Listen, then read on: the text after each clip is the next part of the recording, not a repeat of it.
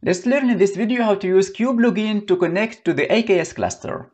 kubelogin is an open source project that will enable us to connect to the cluster using either a service principal, managed identity, workload identity, or the current Azure CLI user. Let's see how that works. Here I have an AKS cluster. I'm already logged into my Azure subscription. And when I want to connect to that AKS cluster, I will start first by AKS get credentials. And this will download the credentials into the kube config file. And from there, I can go to get the nodes of my cluster, for example, using kubectl. So at this point here, I'm, I'm already connected and authenticated to my AKS cluster. That's the case for non-AD mm, enabled clusters. But for this cluster, this one I have Azure Active Directory that is enabled and I can show you that on my Azure subscription on my Azure portal. So if I go to my AKS cluster to cluster configuration here, then you can see that I have here admin, Azure admin ID groups that was actually enabled and I'm binding into an Azure Active Directory group where I am already a user of in that uh, group. So when I go here to, to say kube control get nodes, because this is this have IAD enabled, here it will ask me to re-authenticate to my Azure subscription using Azure Active Directory. And I get that message here saying here I need to sign in using a web browser. So I should open this web page and then use this uh, code from here and use it to log in to my AKS cluster. And the experience will look like this one. So it should open a web browser in my machine so here it's going to microsoft.com slash device login. And then from here, it's asking for the code and then it will be asking for my email, credentials, and so on. So this is fine where, where when I am a user and I want to connect to that cluster, but this is not any good if I want to use this uh, experience to connect to my AKS from a DevOps pipeline, for example, or where I want to use a service principal or a managed identity.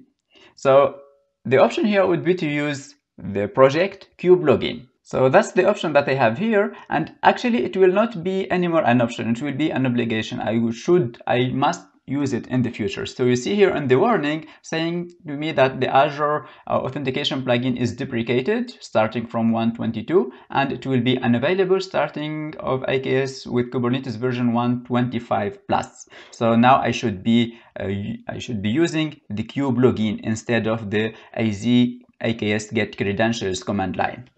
So I'll go to cancel that command and now I'll go to use the uh, kubelogin.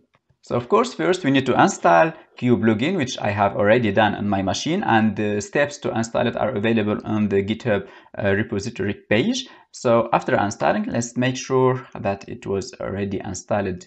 Let's make sure to type that correctly. And here, yes, it, it is installed on my machine. So now I can go to authenticate to AKS using kubelogin. So for that, I'll go here to use the command kubelogin convert kube config and here dash L and the authentication method will be the Azure CLI. So this is telling kubelogin to use the current user because here I have done AZ login. So that's me connected to my Azure subscription to use the credentials from that uh, uh, Azure CLI session in order to authenticate to my AKS cluster. So that actually have um, so now I'm connected to my AKS cluster and I can check that if I test the connection using kube control get nodes and yeah, here I did get my two nodes in this cluster.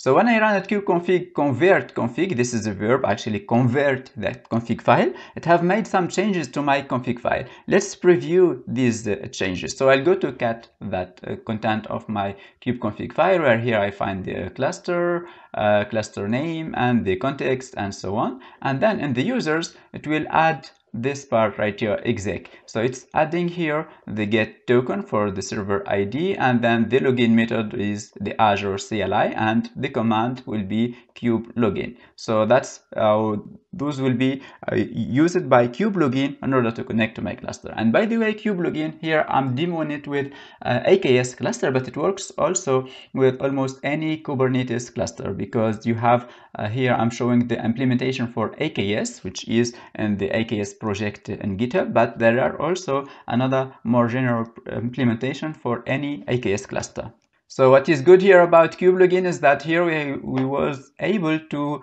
connect to our cluster without using the interactive mode. Here we are using the non-interactive mode, which is really important for the case of uh, uh, DevOps pipelines, for example. So that was how to connect to the cluster using my current Azure CLI credentials. We can also use an SPN, a service principal from Azure. And the way to do that is by using kubelogin, convert kubeconfig, and then we specify dash L SPN. And for using SPN, we need to provide also or to export the variables for the ID uh, service principal client ID and the client secret for my SPN and then kubelogin will be able to use those credentials in order to connect to my cluster.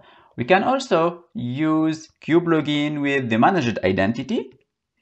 So with this simple command right here, we can go to say, um, it, we just changed the dash L with MSI for Microsoft Service Identity, and then we provide the client identity uh, ID which is the managed identity uh, client ID. If we are using system managed identity, we don't need to provide this as the machine uh, will uh, pick up the default system managed identity. Another option would be also to use the workload identity. I hope you liked this demo. More resources are available in this GitHub repository where I implement the different uh, commands that we have used today and the link for uh, getting to kubelogin project. Thank you.